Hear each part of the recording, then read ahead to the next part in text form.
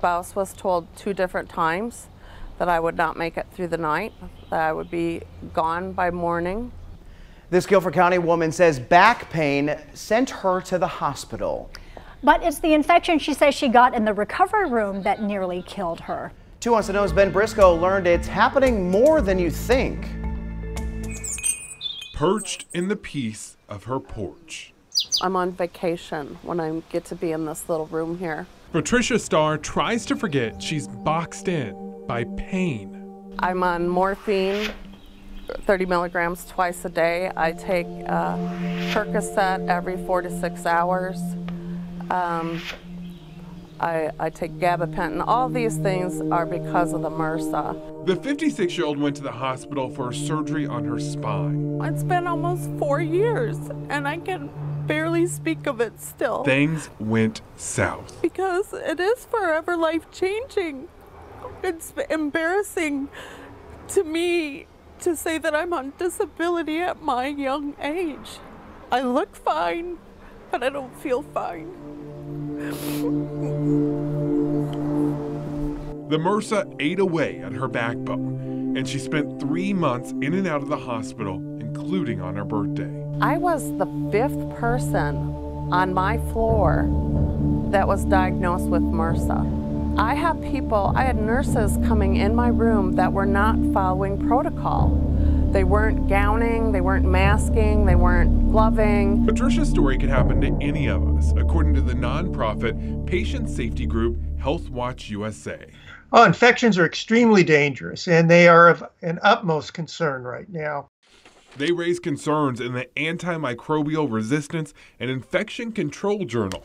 Yeah, it's such a big problem, it has its own academic journal. HealthWatch USA cited hospital billing data showing MRSA infections have doubled to 41 cases for every 1,000 people discharged. And if you're squeamish, look away for a second, because we can't ignore one of the photos included in the academic article as proof. Much more can be done and not enough resources are being placed to confront and stop these dangerous bacteria.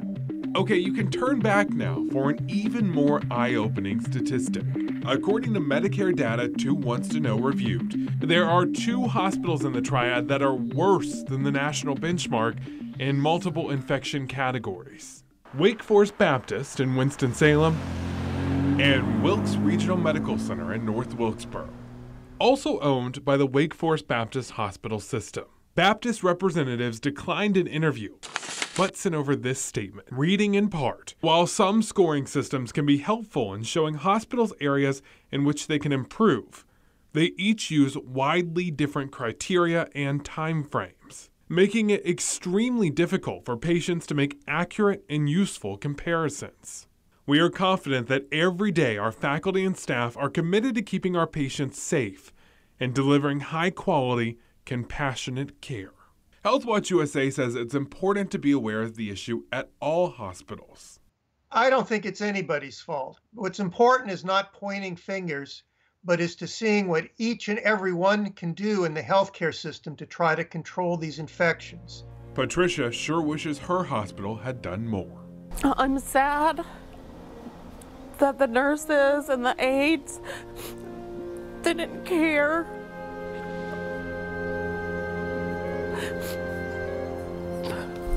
about being clean enough to keep me MRSA free.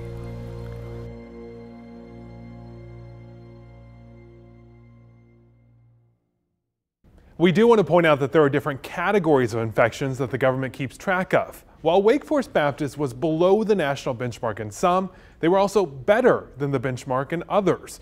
There are also several other Triad hospitals that were better than the national benchmark, including Cone Health, Novant Health, and High Point Regional. You can see a full list of hospital scores on WFMYnews2.com. But no matter which hospital you go to, remember these key takeaways to help protect yourself. First, you want to ask your doctor if the hospital has a history of infection problems before you're admitted. Also, ask all hospital staff and your visitors to wash their hands as soon as they enter the room. And HealthWatch USA says to avoid using antibacterial soap at home because it could cause you to build a resistance to medication that fights infection.